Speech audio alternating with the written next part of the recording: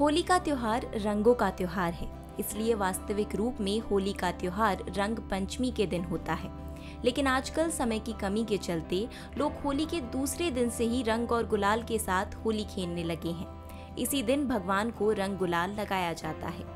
ज्योतिषाचार्य पंडित राम गोविंद शास्त्री के मुताबिक होली की शुरुआत त्रेता युग से हुई थी। इस युग में हिरण्यकश्यप का जन्म हुआ था। तब से ही होली की शुरुआत मानी जाती है। पौराणिक कथाओं के मुताबिक पहली बार होलिका दहन झांसी के एरच में हुआ था।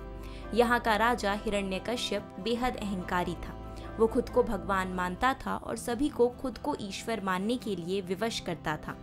पर हिरण्यकश्यप का पुत्र प्रहलाद भगवान विष्णु का परम भक्त था। वह विष्णु जी को ही अपने सबसे बड़े भगवान के रूप में मानता था। ये बात हिरण्यकश्यप को पसंद नहीं थी। इसलिए उसने अपनी बहन होलिका को, प्रहलाद को समाप्त करने की ज़िम्मेदारी दी।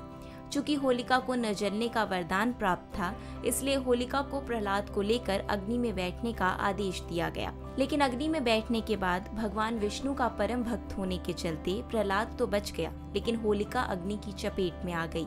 इसी दिन से होलिका की शुरुआत मानी जाती है। इस घटना के बाद भगवान विष्णु ने नरसिंह का रूप धारण कर हिरण्यकश्यप का वध कर दिया। कथाओं के अनुसार इसके दूसरे दिन से धुलेंडी मनाई जाती है।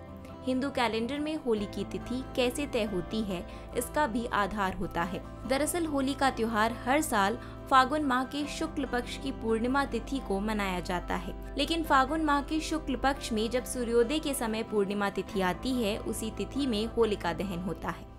यदि आप ये वीडियो YouTube पर देख रहे हैं तो हमारे चैनल को सब्सक्राइब करें और बेल आइकन को दबाना ना भूलें। अगर आप Facebook पर ये वीडियो देख रहे हैं तो हमारे पेज को लाइक करें आप हमारे WhatsApp चैनल बंसल न्यूज़ को फॉलो कर हर दिन लाइव अपडेट्स भी पा सकते हैं